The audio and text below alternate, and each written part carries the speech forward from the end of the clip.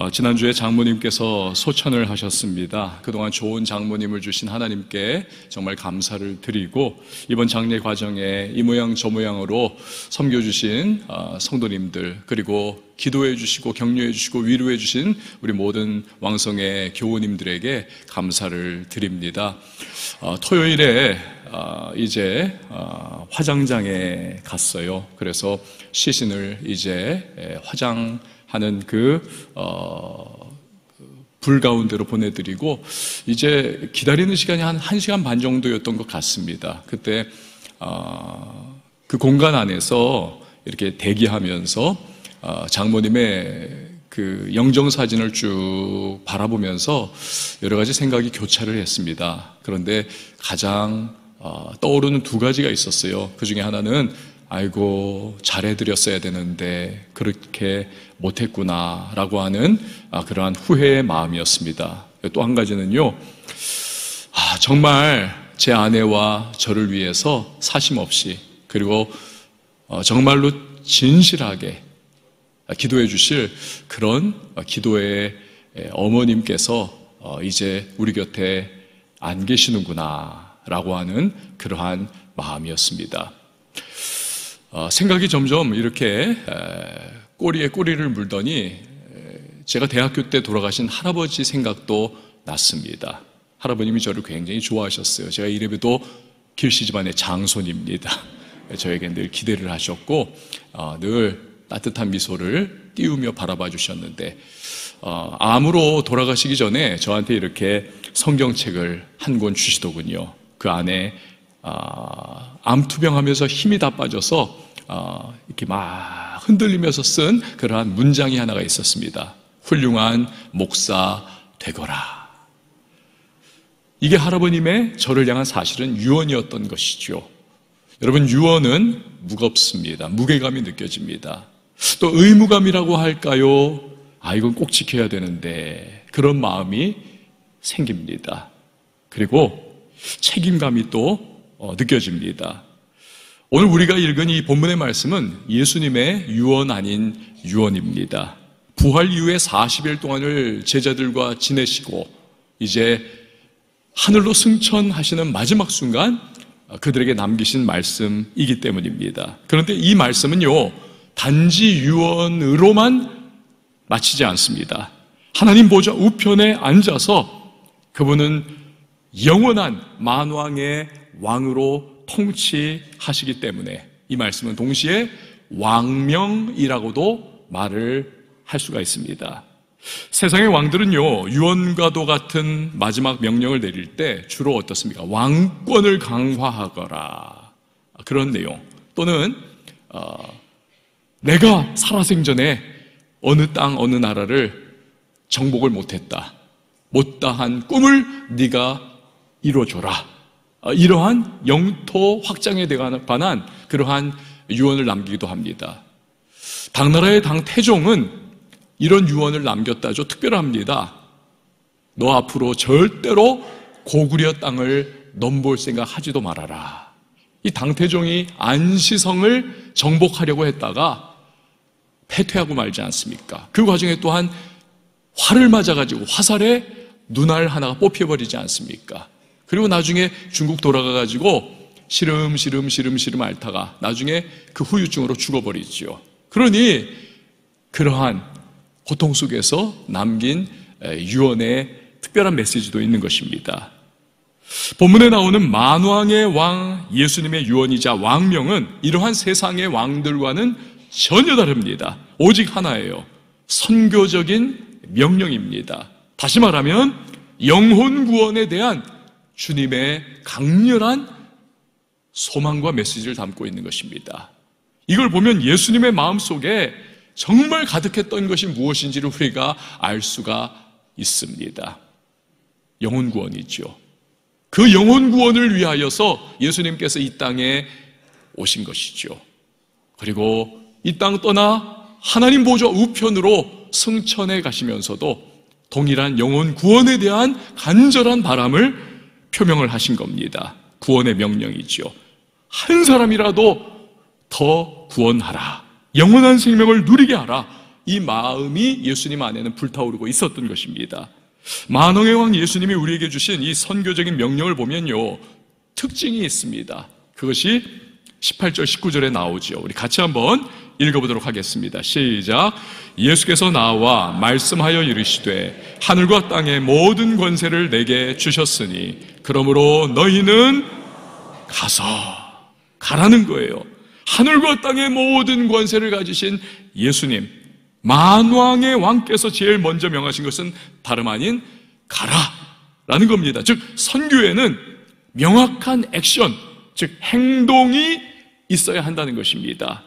제가 얼마 전에 여러분 아시다시피 SWM 이슬람권을 아주 집중 타겟으로 하는 선교 단체의 이사가 되지 않았습니까? 그래서 이사회에 참여하기 위하여서 해외를 다녀왔습니다. 돌아오는 13시간의 비행 중에 너무 무료하기도 하고 몸도 피곤해서 아, 시간을 어떻게 좀 빨리 흘려보내야 되겠다. 그래서 기내 영화를 한 편을 선택을 해서 보았습니다. 그 영화가 Five Feet Apart라고 하는 그러한 영화예요. 번역을 하면 우리나라에 들어왔는지 잘 모르겠는데 다섯 걸음 밖으로라고 하는 그런 뭐 그 제목 정도 되겠죠. 다섯 걸음 밖으로. 내용이 특별합니다. 낭포성 섬유증이라고 하는 흔치 않은 낭포성 섬유증. 아주 희귀 질환인데요. 이게 유전 질환입니다. 이걸 걸린 젊은 남녀의 러브 스토리를 다루고 있는 것입니다. 한 병원에 동일한 이 유전 질환을 가지고 있는 남녀가 입원을 하고 있는 거예요. 어쩌다 어쩌다 어쩌다 어쩌다 두 사람이 사랑을 하게 된 것입니다. 그런데 문제는 뭐냐 하면 이 병을 가지고 있는 환자끼리는요, 다른 정상인하고는 아무 상관이 없어요. 그러나 같은 환자끼리는 다섯 걸음 이내로 들어와서 대화를 한다든지 함께하게 되면요, 그러면 그 폐에서 호흡할 때 나오는 그 아주 아주 강한 고 균에 의해 가지고 감염되어서 이게 확 번져가지고 서로 죽을 수가 있는 겁니다. 여러분 생각해 보세요. 사랑하는 사람인데 손도 잡지 못합니다. 손도. 키스할 절호의 타이밍이 있었어요. 그런데 그렇게 하려다가 번뜩 이성이 돌아온 거예요. 야, 이러다 우리 다 죽는다. 그래가지고는 다가가다가 못 다가가게 되는.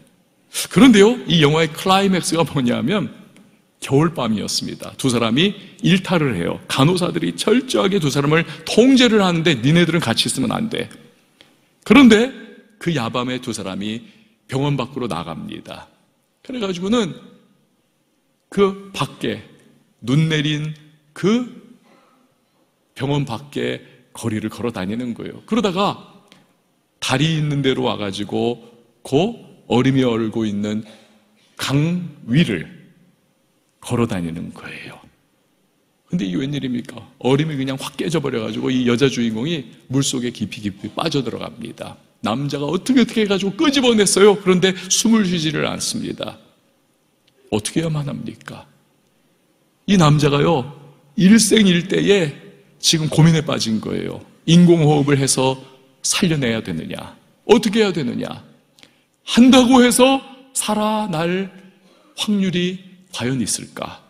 그리고 살아난다 해도 우리가 결국 입과 입을 마주대고 호흡을 불어넣어 줘야 되는데 그럼 낭포성 섬유증 균이 서로에게 오고 가게 되는데 그럼 나중에 둘 다 죽을 수 있다.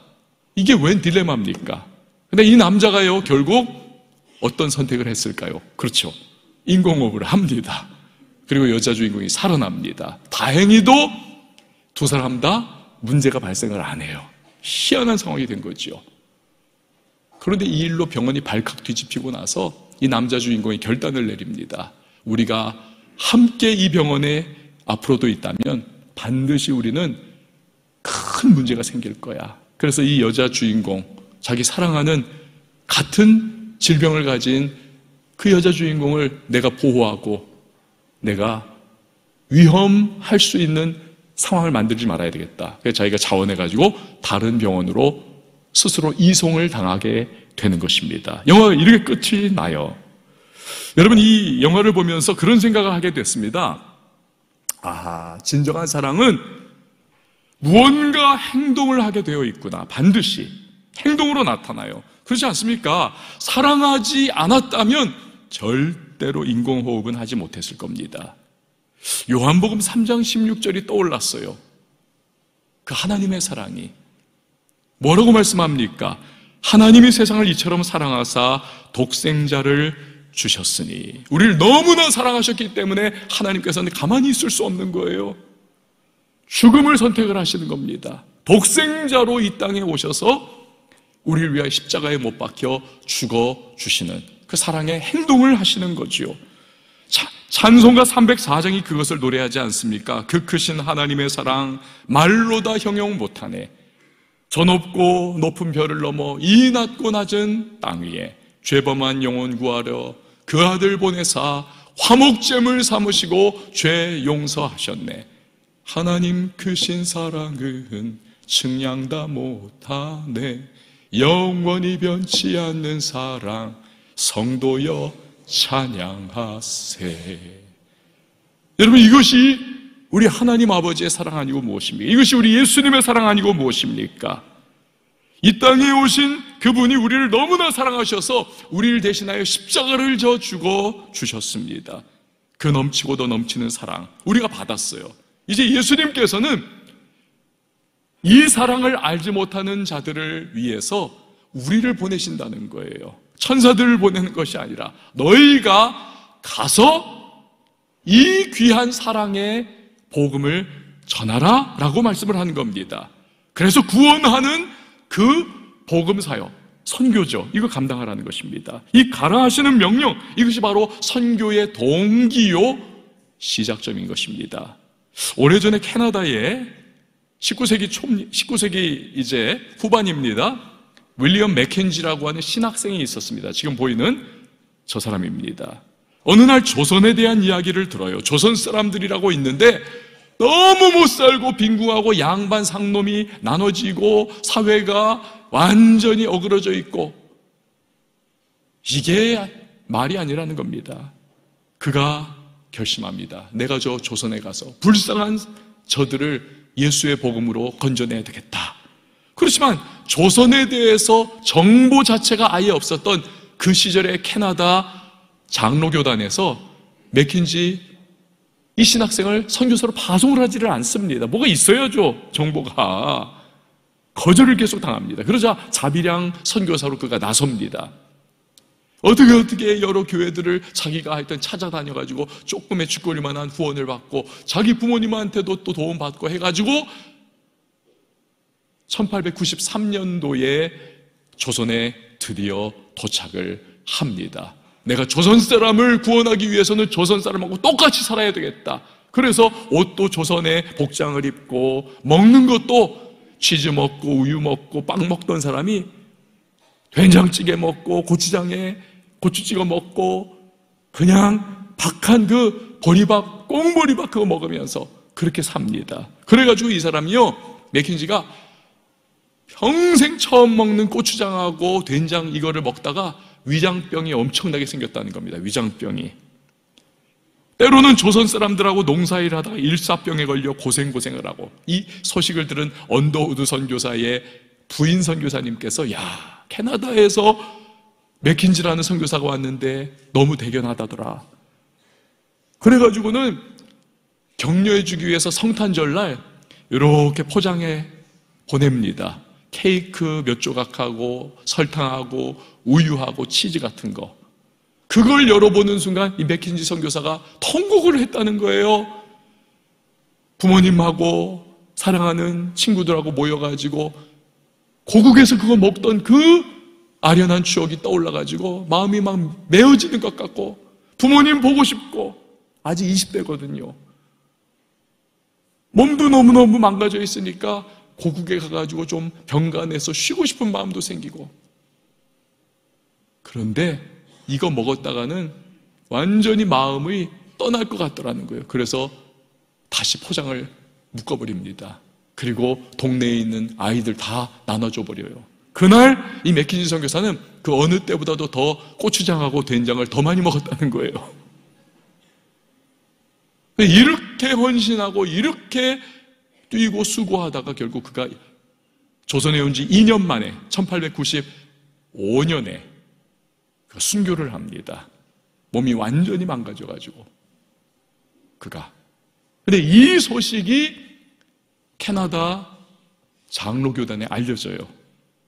이랬다더라. 그래가지고는 엄청난 보전을 받고 선교에 불이 붙어가지고요. 캐나다 장로교단에서 조선에 무려 선교사를 200명을 보냅니다. 200명을. 여러분, 오늘날 대한민국 한국교단에 가장 교세가 크고 많은 교단이 어디입니까? 장로교단이에요. 바로 그 결과가 그런 겁니다. 하늘의 밀이 땅에 떨어지니까 그 왕의 명령, 가라 하시는 선교의 명령 앞에 순종하니까 이런 어마어마한 결과가 이루어지더라는 거지요. 마포구 합정동에 있는 양화진 외국인 선교사 묘지에 가면 많은 외국인 선교사님들이 순교하고 여기서 죽었던 그분들의 묘비가 쫙 비석과 함께 써 있고 세워져 있는데 거기 허버트라고 하는 선교사님의 묘비에 이런 고백이 써 있습니다. 나는 웨스트민스터 성당보다 한국 땅에 묻히기를 원하노라. 그 영광스럽고 가문의 정말 명예가 되는 웨스트민스터 성당에 자기의 유해가 묻히는 것보다 척박한 한 이 조선 땅에 묻히는 걸 자기는 더 원한다는 거예요. 어제 토요일에 제 신학교 동기 선교사님이 대만에서 하나님 부르심 받고 천국 들어가셨습니다. 여러분 생각해 보세요. 어떻게 이분들이 머나먼 이국 땅에서 순교할 만큼 헌신하게 됐을까요? 어떻게? 오래전에 같은 헌신을 했었고 선교사님들이 너무나 닮고 닮고 싶어 하던 선교사들의 선교사인 사도 바울 그가요 그 해답을 줍니다. 고린도후서 5장 14절 우리 같이 한번 읽어 보시죠. 시작. 그리스도의 사랑이 우리를 강권하시는도다. 아멘. 즉 무엇입니까? 예수님의 사랑에 깊이 깊이 깊이 깊이 감격하다 보니까 영혼을 구원하기 위하여 가라 하시는 그 왕명 앞에 거부권을 행사하지 않더라는 거예요. 순복할 수밖에 없더라는 것입니다. 여러분 이러한 만왕의 왕 되시는 예수님의 가라 하시는 말씀은 오늘을 살아가고 있는 우리 한국교회와 왕성교회 그리고 왕성교회를 이루고 있는 여러분 한 분한 분들에게도 동일하게 주어진 명령인 것입니다. 우리가 사실은 영적으로 느슨해지고 신앙생활하면서 긴장, 영적 긴장 다 빠져가지고 우리가 지금 이러고 있는 거지요.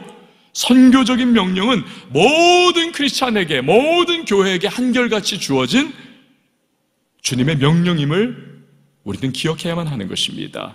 그래서 우리가 어떻게든 그 명령에 순종하기 위해서 우리 교회 왕성교회가 만든 시스템이 하나 있잖아요. 태신자 전도운동. 여기 지금 우리가 또한 저기에 D14 이제 14일 남았어요. 4,390명 작정하고 저분들을 이제 주께로 이끌어 가기 위하여 우리 전도하고 애를 쓰고 하는 겁니다. 개인이 혼자서 전도하는 것이 이게 좀 벅차고 힘들고 좀 동기부여가 안 될 수 있잖아요. 그러니까 이러한 모멘텀을 만들어 가면서 우리가 1년에 두 차례씩 함께 으쌰으쌰 하면서 전도하자고 하면서 교회가 시스템을 만들어서 아까 여러분 영상 광고에서 보셨던 감동란 사용하게 하시고 그런 프로그램도 활용하면서 전도하는 그러한 전도를 조금 용이하게 만들어 드릴 수 있는 그러한 것들 선물도 이렇게 구입해서 나눠 드릴 수 있도록 하고 또 4월 28일 한 날을 정해서 함께 모여서 그분들을 이곳에서 함께 복음을 듣게 하는 시스템을 만든 거지요. 그래서 비교적 용이하게 주님의 선교적 명령에 동참할 수 있게 되는 것입니다. 전에 여러분 기억하시죠? 이태원에서 할로윈 참사가 일어났습니다. 그런데 그때 영국 BBC 방송의 기자와 인터뷰를 하던 한 경찰관이요, 막 통곡하고 오열을 했습니다. 이태원 파출소 소속 김백겸 경사님이에요.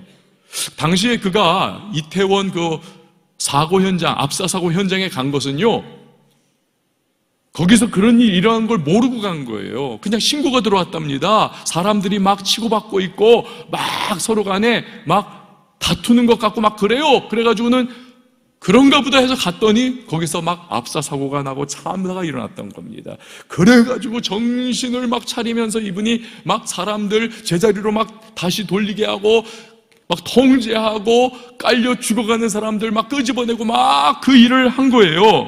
그런데 나중에 인터뷰하면서 경찰관으로서 자기가 이게 자기의 직접적인 그러한 원인에 의해서 자기가 발생한 건 아니지만 그러나 경찰관의 한 사람으로서 제대로 대처하지 못했구나. 이걸 가지고 이분이 너무 책임감과 죄책감과 죄스러움이 마음을 짓눌러서 오열을 했다는 거예요, 오열을. 여러분, 저는 영혼 구원에 대해 생각하면 이분이 떠오르곤 해요. 아, 나는 정말 이분처럼 영원한 멸망으로 가는 사람들을 향한 심장을 가지고 있는가? 아파하는. 사실 우리가요, 만왕의 왕이신 예수님의 선교적인 명령을 받든다는 것은 죽어가는 누구 한 사람, 그 육체적인 죽음을 겪는 누군가를 끄집어내고 살리는 것과는 물론 그것도 귀하지만 그러나 그것과는 비교할 수 없는 이건 영원한 가치를 지니고 있지 않습니까? 여러분 사람은 끄집어내서 살려도 결국 어느 때가 되면 다시 죽습니다. 그러나 우리가 누군가를 죽음에 영원한 죽음, 영원한 지옥, 예수 알지 못하여 영원한 형벌로 나아가던 누군가를 우리가 복음 전하에서 그 지옥행 특급 열차에서 끄집어낸다는 것은 여러분 그 사람의 영원한 운명을 바꾸는 것 아니고 무엇이겠습니까? 지옥 백성에서 하나님의 백성으로 영원한 멸망에서 영원한 생명으로 마귀의 종노릇에서 하나님의 자녀로 완벽한 위치 이동, 완벽한 운명의 변화, 영원한. 그래서 무엇과도 비교할 수 없는 중대한 가치를 짓는 행동, 이것이 가라 하시는 주님의 선교의 명령, 왕명에 순종하는 우리의 모습인 것입니다.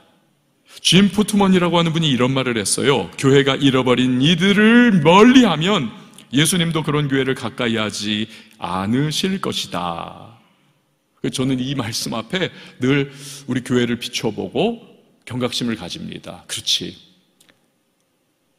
구원하여 세상과 구별시킨 백성의 무리가 교회인데, 교회가 구원의 복음을 듣고 함께 모여 있으면서도 그것을 경험했으면서도 그냥 우리끼리만 좋고 우리끼리만 해피하고 우리끼리만 이 구원을 누리고 있다면 하나님께서 과연 우리 교회를 축복하실 것인가? 앞으로도 써주실 것인가? 하나님의 시선이 우리 교회에 머물러 주실 것인가? 촛대가 옮겨지진 않을 것인가? 이러한 위기의식을 늘 가지게 되는 것입니다. 여러분, 그런 점에서 교회와 성도에게 있어서 선교는 결코 선택사항이 아닙니다. 왕 되시는, 만왕의 왕 되시는 예수 그리스도의 명령이요, 이 선교는 필수 사항임을 믿으시기를 바랍니다.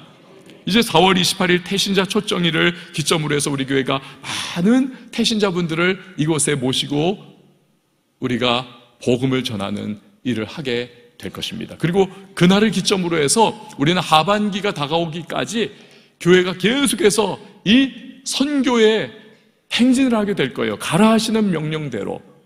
중고등부 아이들이 해외 단기 선교를 나갈 겁니다. 그래서 이 아이들이 거룩한 비전을 마음에 품을 것이고 그곳에서 또 복음을 전할 거예요. 장년들도 여러분 아까 영상에서 보셨듯이 첫 번째는 국내 단기 선교를 지방으로 갈 겁니다. 그래서 미자립 교회들을 도우면서 그곳에서 전도도 도와주고 임용 봉사라든지 뭐 이런 것들도 도와주고 그 교회들이 또 여름 성경학교 같은 거 하는 것도 도와주고 그 지역 사회에서 그 교회가 자리매김할 수 있도록 도와줄 거예요. 그리고 또한 장년들 중에서는 일부가 15명 폴란드 바르샤바로 가서 그 우크라이나 난민들 난민촌 지원 사역을 윤상 선교사님과 함께 하게 될 겁니다.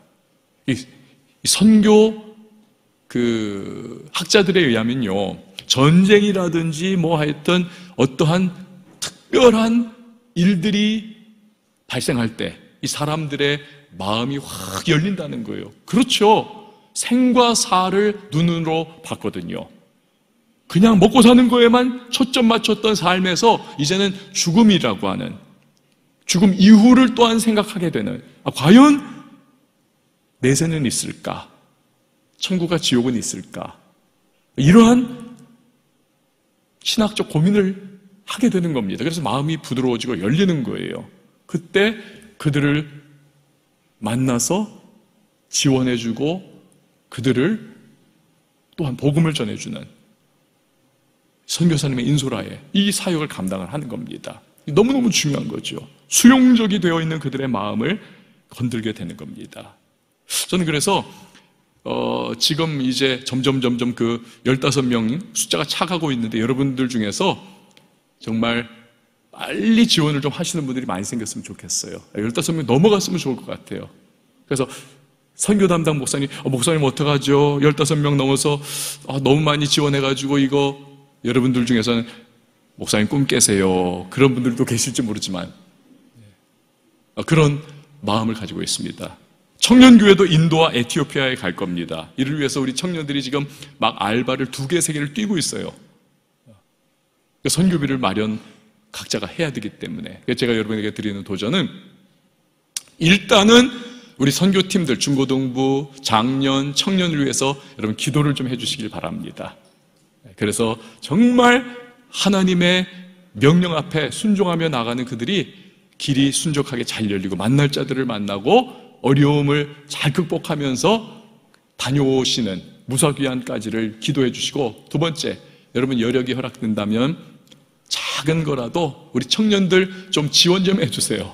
어, 먹을 거 사주셔도 되고 뭐 1만 원, 2만 원이라도 좀 도와주시면 그게 모이면은 또 이게 되잖아요 볼륨이 청년교회 교육자들한테 아, 저가 한 2만 원, 3만 원, 5만 원이라도 도울 수 있을 것 같은데 어,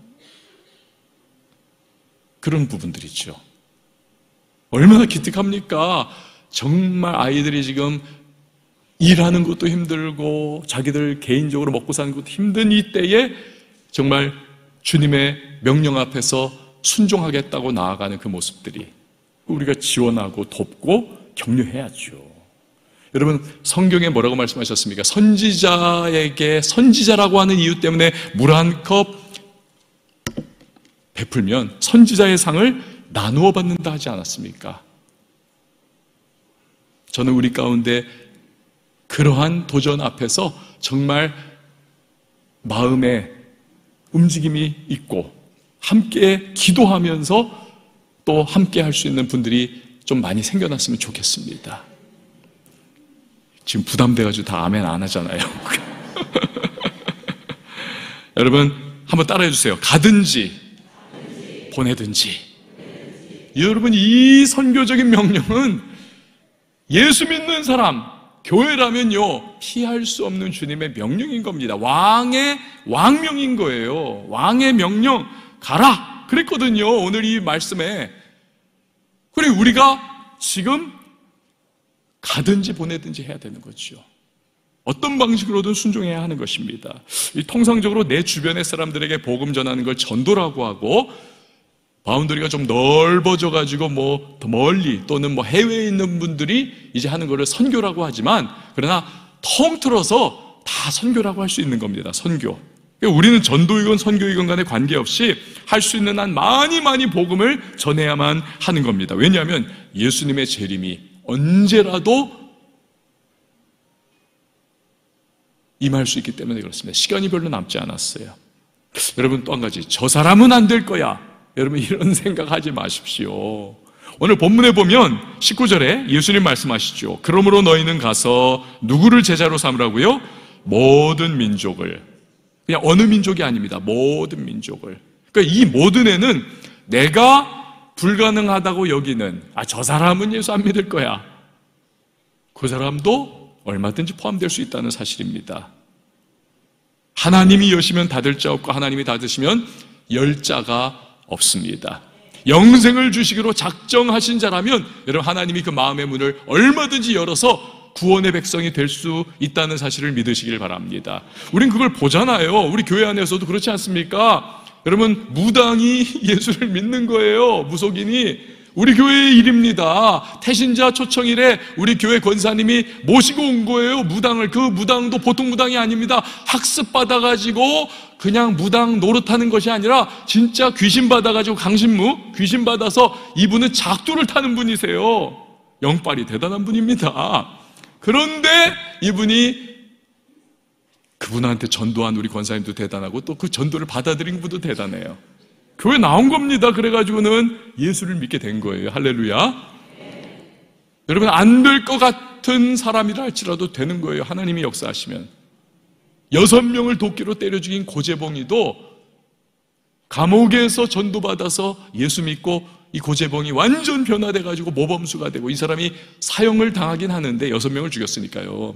사형 당할 때까지 그가 감옥 안에서 전도해서 예수 믿게 한 사람이 몇 명인 줄 아십니까? 1800명. 우리가 평생 가도 전도할 수 없는 사람들을 그가 감옥에서 사형수로서 그가 전도한 겁니다. 그러니까 하나님께는 불가능이 없어요. 하나님이 하시면 하는 겁니다. 순종하면 주님 역사에 주시는 줄 믿으시기 바랍니다. 어떻게 이런 일이 일어납니까? 오늘 본문 20절 말씀 우리 같이 한번 읽어보시죠. 시작. 내가 너희에게 분부한 모든 것을 가르쳐 지키게 하라. 볼지어다 내가 세상 끝날까지 너희와 항상 함께 있으리라 하시니라. 아멘. 그렇습니다. 만왕의 왕 예수님의 명령을 준행하는 자에게 주님은 성령으로 능력으로 우리 가운데 역사하사 주님의 기적과 같은 일들을 얼마든지 베풀어 주실 수 있음을 여러분 꼭 믿으시기를 바랍니다. 그래서 성령의 역사는요, 성, 이 성령은 선교의 영이세요, 1차적으로. 선교의 영. 오순절날 성령이 강력하게 교회 역사상 가장 강력하게 임하지 않았습니까? 왜요? 예루살렘과 온 유대와 사마리아와 땅끝까지로 내 증인 되도록 하기 위해서 선교의 영이세요.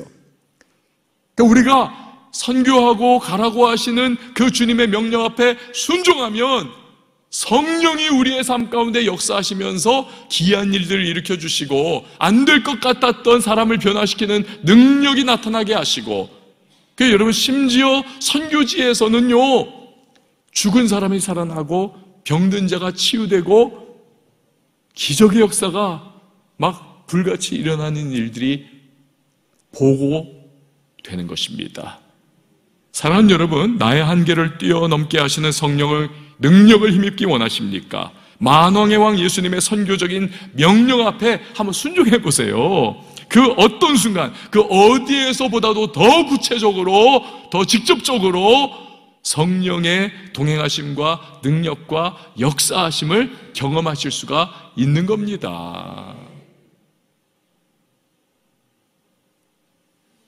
여러분 자녀의 삶이 변화되기를 원하십니까? 자녀가 그냥 비전 하나도 없고 꿈이 없고 그냥 무기력하게 그냥 인생만 막 시간만 누수시키고 낭비하고 너무 속타는 부모님들 계시죠? 여러분 단기 선교에 좀 보내버리세요. 거기서 이 아이들이 제3세계 뭐 아프리카 같은데 뭐 우리보다 훨씬 열악한 곳에 가가지고 야 내가 도와줄 수 있는 사람들이 있네. 이걸 경험하는 겁니다. 그리고 눈이 열리는 겁니다. 세상이 넓구나. 그리고 아 주님이 나를 여기서 또 이렇게 사용하시네. 그러면서 거룩한 꿈을 꾸고 비전을 갖고 자기의 존재 가치를 발견하는 것입니다. 그러면서 인생의 목표를 세우게 되는 것이고 성령이 그 마음속에 역사하면 거룩한 꿈과 비전과 사명의식으로 꽉 차게 돼서 달라져서 돌아오게 되는 거예요. 눈빛도 달라지고 무기력하던 심령이 힘을 얻고 그 자꾸 얘는 왜 이러냐, 얘는 왜 이러나 이러면서 그냥 속만 썩지 마시고 딱 결단을 내려서 한번 탁 보내버리세요. 그냥 청년부에 연락해가지고 여러분 자녀의 삶이 바뀔 수가 있는 겁니다. 여러분 인생의 의미를 느끼지 못하는 분 계십니까? 주님의 가라고 하시는 선교적인 명령 앞에 어떠한 모습으로든지 간에 한번 여러분 자신을 한번 던져놓고 보세요. 내 인생의 의미, 이게 정말 귀중하다고 하는 사실, 주님이 정말 사용해 주신다고 하는 사실, 이걸 경험하면서 나와 세상을 바라보는 눈이 바뀌게 될 겁니다. 사소한 것에도 무너지고 좌절하던 인생이십니까? 주님의 부르심 앞에 한번 믿음으로 반응해 보세요. 담대함이 생기고요. 하나님의 사람이 되어서 믿음의 용장으로 살아갈 수 있는 발걸음이 시작이 될 수가 있는 것입니다. 사랑하는 여러분, 선교는요, 만왕의 왕이신 주님의 명령입니다. 거부할 수 없는, 반드시 수행해야 할 명령입니다. 그렇기 때문에 우리 신앙을 굳건하게 세우는 일곱 기둥 중에 하나, 그것이 바로 선교인 것입니다. 바라는 것은 저와 여러분, 그리고 우리 교회가 이 선교의 명령에 순종함을 통해서 주님이 예비하신 상급의 주인공이 되고 또 날마다 성령님과 동행하면서 그가 주시는 거룩한 비전과 꿈에 사로잡히고 인생의 목표와 목적 의식을 가지고 성령이 내 안에서 역사하심을 경험하면서 힘있게 힘있게 인생길 예수님의 말씀 따라 달려갈 수 있는 우리 왕성의 멋진 성도님들이 다 될 수 있기를 예수님의 이름으로 축원을 드립니다.